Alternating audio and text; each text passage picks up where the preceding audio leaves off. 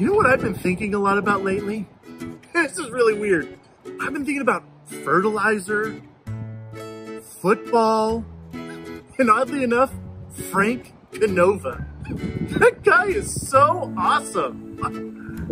All right, now that all the moms are gone, dads, kids, students, we want you to help us make Mother's Day super special for your moms.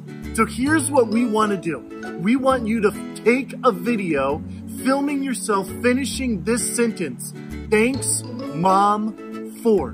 When you make that video, please send those videos to photos at hillsidecovenant.org. If you could get us those videos by Monday, May 4th, May the 4th be with you, am I right?